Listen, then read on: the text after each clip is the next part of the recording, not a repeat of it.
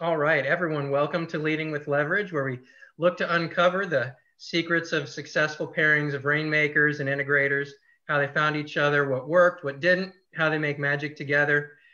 Today, really happy to, to bring to you uh, a couple of all-stars from KW Philly. We have Ian Perler here um, and his uh, operations guru, Ed Lanigan. Um, Ian, can you introduce yourself? Hi, everyone. Ian Perler. Uh, as Ryan said, I'm with KW Philly. Uh, we actually came over to KW uh, in the middle of last year. Uh, it's been a really great thing, and part of that process was finding an awesome person, and uh, that's how I got linked up with Ryan and Ed. And uh, yeah, I'm excited to be here today. Awesome. Yeah, and, um, and and Ed, if you could uh, just tell us a little bit about yourself. You actually came came with a little bit of a background in real estate. I did, yes. So uh, I'm Ed. Uh, I've been with Ian uh, six months this this week, and um, yeah, I have a, a pretty strong uh, production background. I've owned a few small businesses, and I've had my New York uh, real estate license for the past 16 years, where I kind of always did that on the side, you know, just in the background.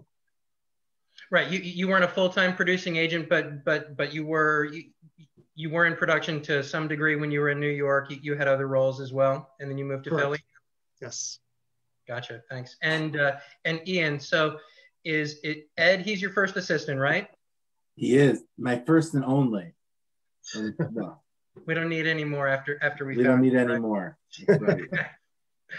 and, uh, and and you mentioned that you you did hire us to help you find Ed. Can you tell us a little bit about the decision making process there? You know, in terms of am I going to do this myself? Do, do I want to try to see if I can get some help with this? yeah, um, I took the uh, I took advice is what I did. I I asked our team leader Jeremy.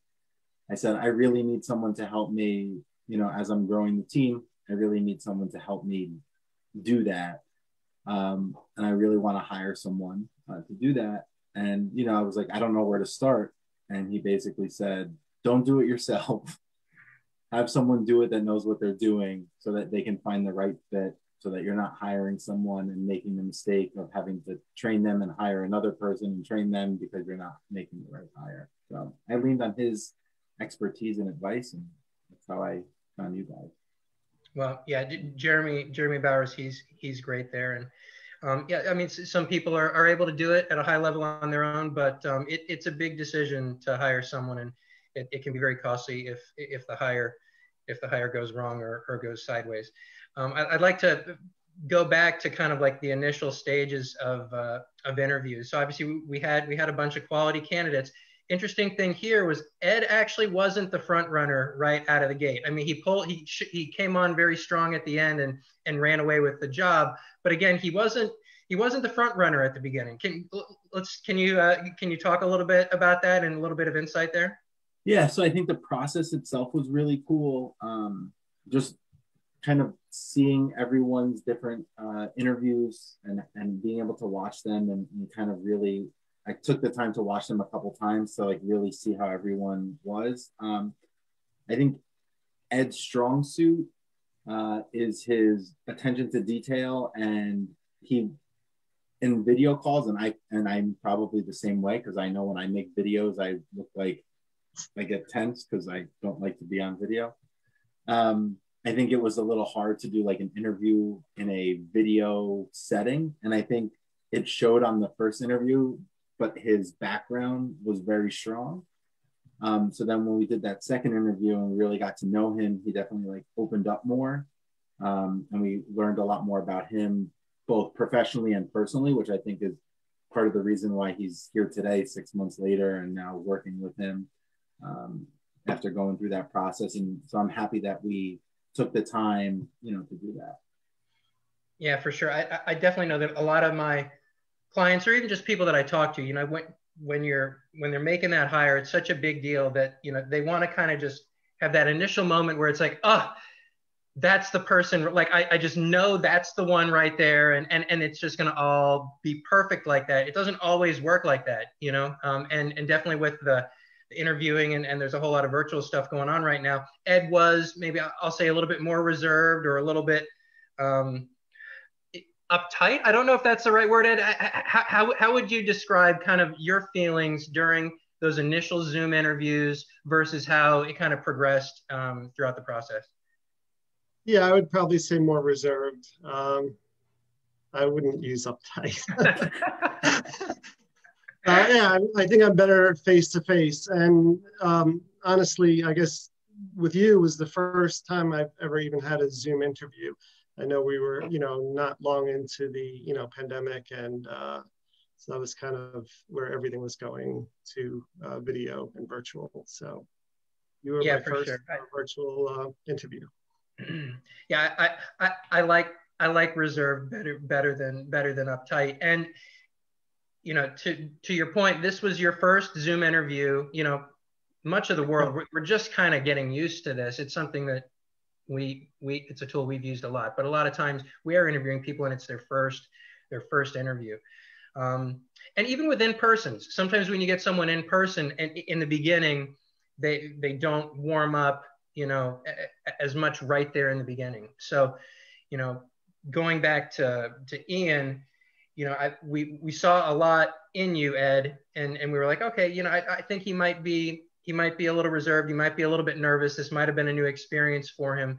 Let's let's move him forward um, so we can get to learn more about him because the things in your experience, the things in your background, you know, you did a good job selling yourself. We took a look at your track record. We could see that you had done a lot of stuff that was very similar, detail wise, operations wise.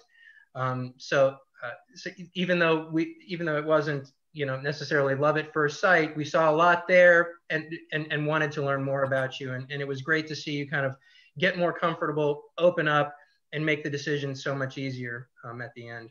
I feel like i didn't have that with any of the other people either. I felt like and i had that conversation with you i remember saying like they're all good but like i didn't get that feeling. And mm-hmm. like do you like i mean i bought houses and haven't gotten that feeling either too right? So it just makes you realize like sometimes you have to like process and think about it more.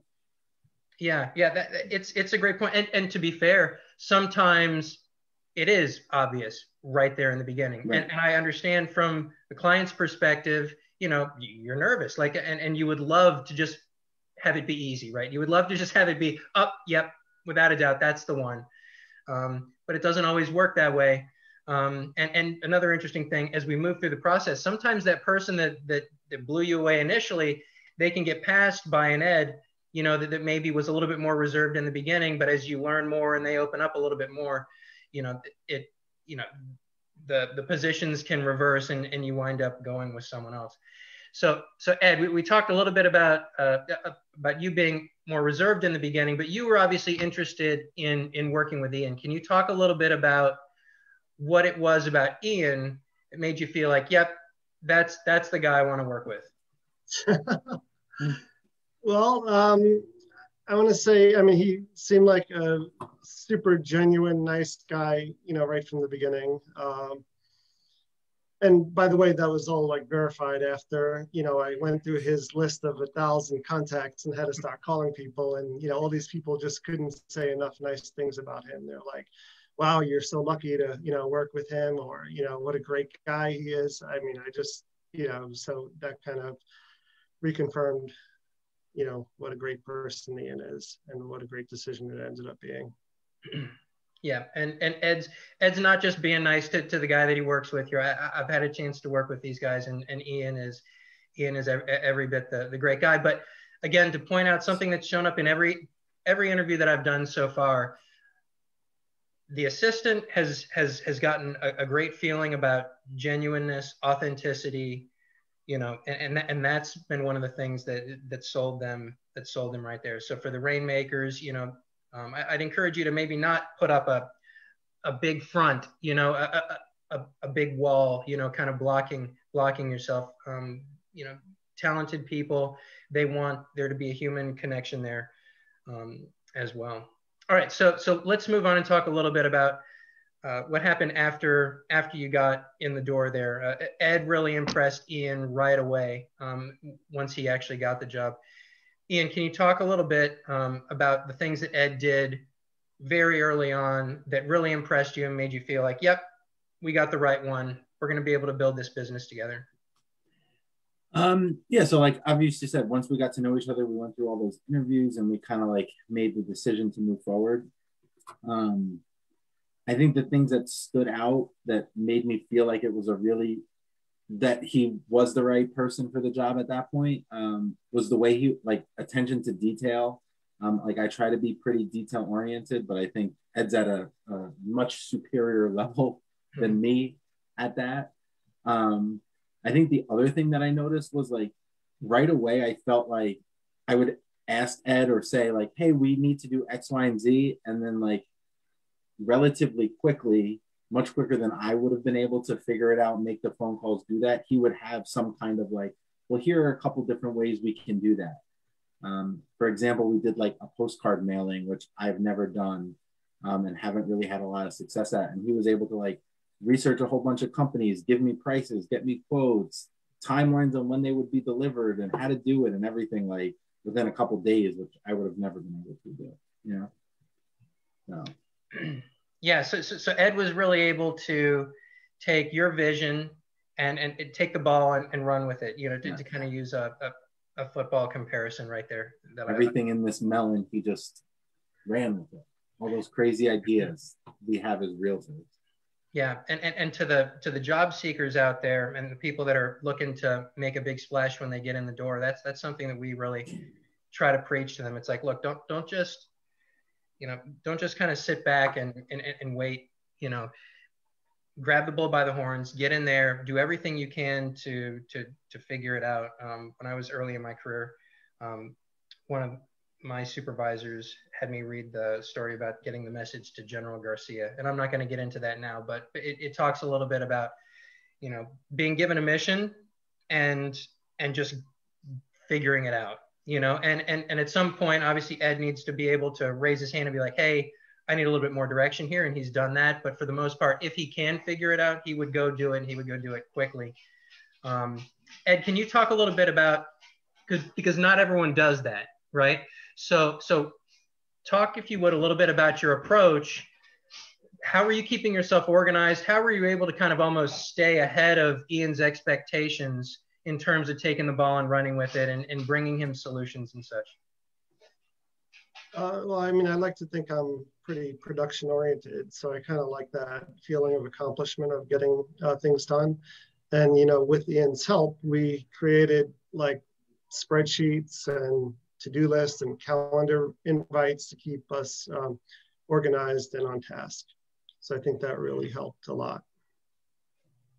Gotcha. And, and, and that was one thing that, that Ian, Ian mentioned. Obviously, it's, you know, it, it's the Ian Perler group. You know, Ian's Ian's the the rainmaker and, and the boss here, but sometimes Ed has to hold he has to hold Ian accountable. He has to kind of rattle his cage and be like, hey, you need to go do this.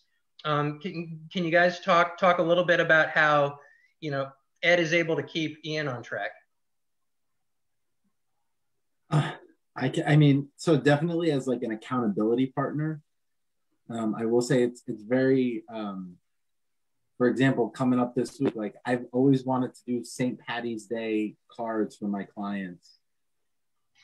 I'm always like struggling to do them, struggling to do them. And I told Ed, like, we're gonna do it this year. And he was like, All right, I got the cards. All right, I got this. All right, like basically had everything ready done. He was like, All right, now we need the list of people. So like then I had to actually like get the list of people because I committed to doing it. Um, so like things like that were that were always on my mind and always wanted to be done. It's nice to have someone who's now like doing the the pieces that you know that he can do to get me to the point where we can get that executed in a timely frame and like Ed already has it ready to go and be mailed, uh, even though we're not dropping it off till Monday. He's like ready to go. They're ready to go.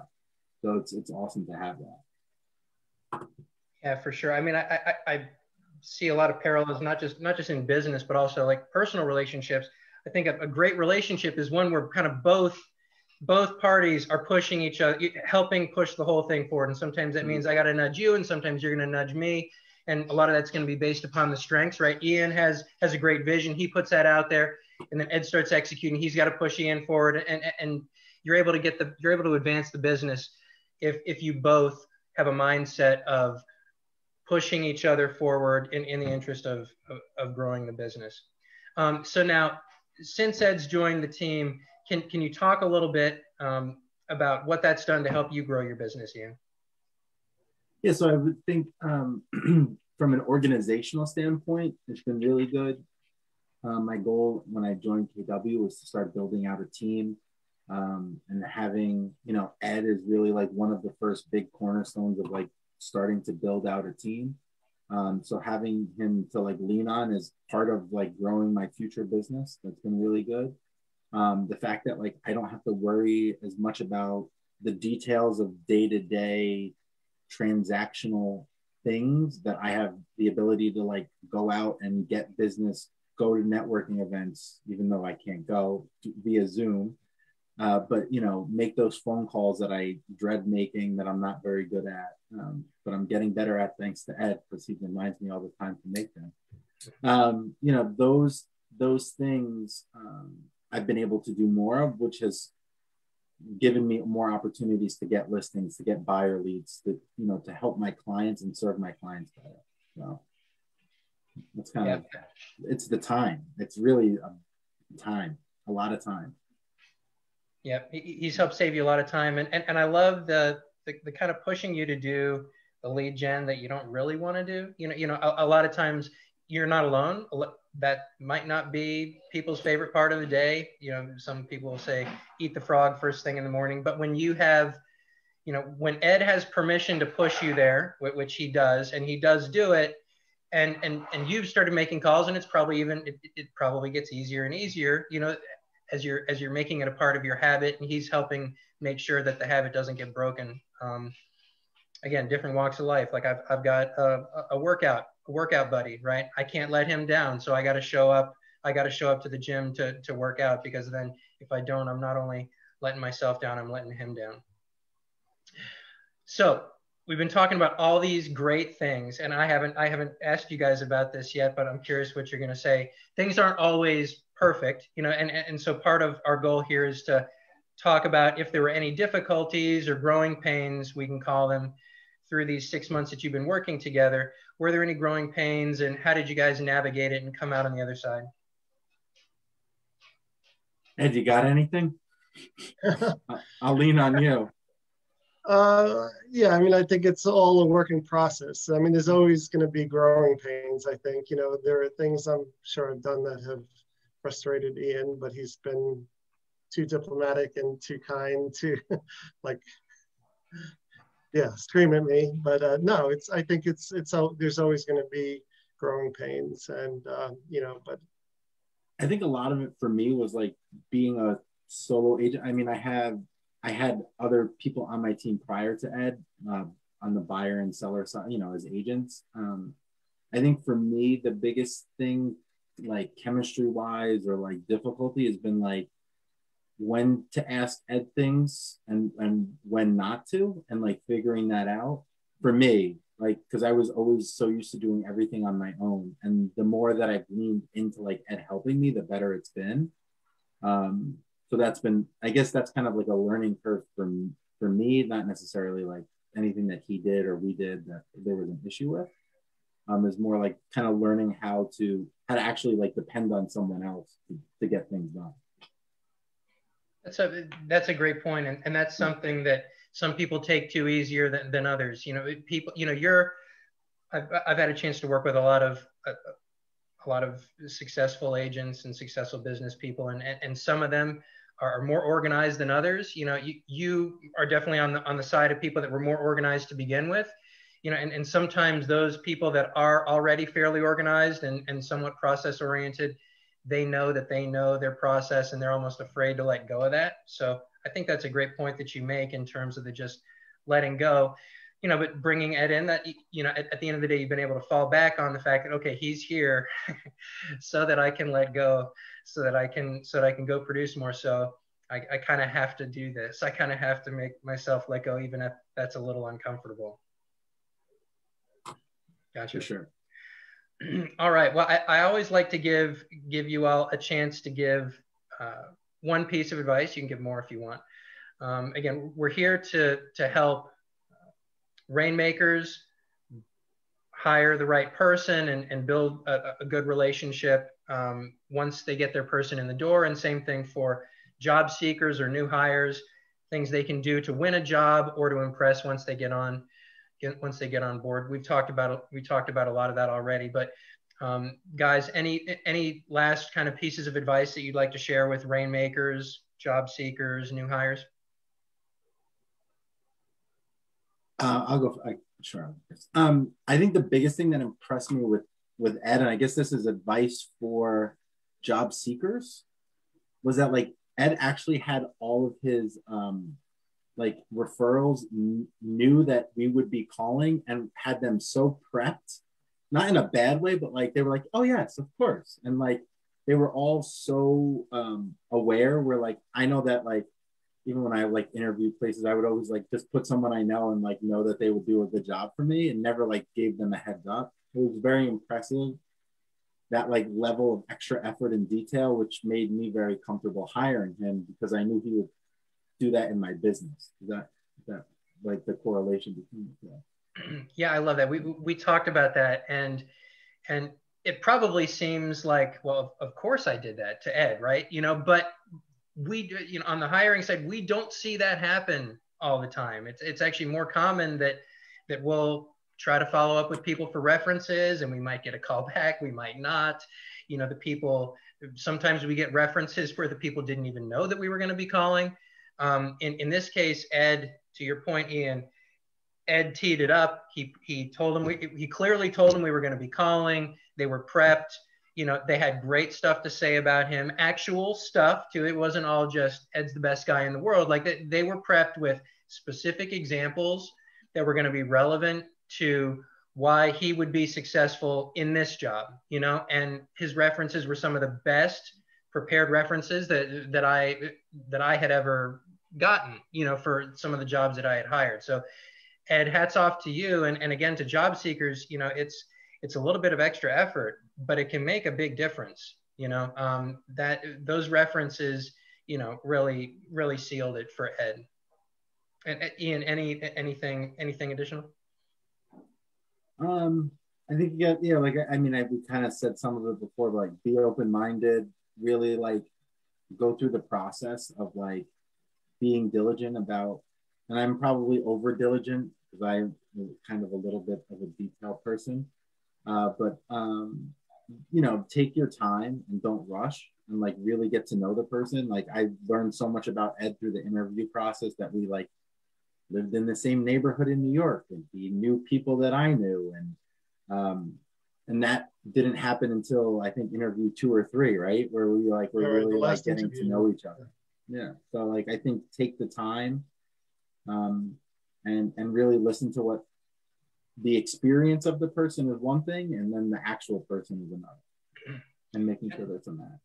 And one thing I want to drop in here, and I hope I'm not stealing stealing from Ed here, but but but I don't want to forget it. So you, Ian, have been played a very active role in getting in getting Ed trained and getting him the information. So like on our, on our weekly sessions, you were there every single week, and it's not that mm-hmm. you have to be there, but you you know your commitment to to be there you know side by side with him really invest your time to make sure that he had everything he needed. He knew everything. He, he knew all about your vision. He knew exactly what he needed to execute. You were there to answer questions.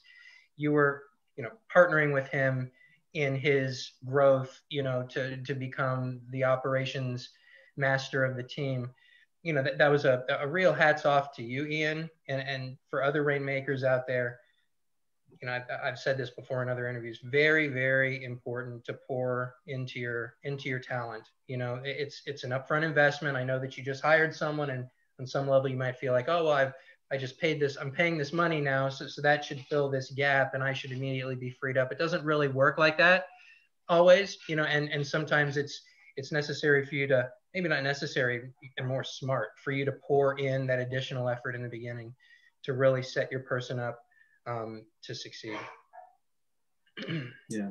I, mean, I, enjoy, I enjoyed I enjoyed being there and like seeing all of the the rationale for doing things instead of like having Ed do it, coming to me, reporting to me, figuring it out, editing it, and then doing it. I felt like it would ultimately be more efficient for him and for me if I was on those calls where I could say like, "Oh, I do this this way instead of that way," um, and like listening to you, Ryan, tell me that and why you guys do things certain ways or why you recommend doing things certain ways uh, versus the way that I do them was good to hear it from you and hear Ed and like kind of be collaborative mm-hmm. and just like then have the homework to do afterwards of like cleaning up, you know, cleaning up the processes. Um, you know, I don't know. I thought all overall it was more efficient, and then I thought it was good for all of us.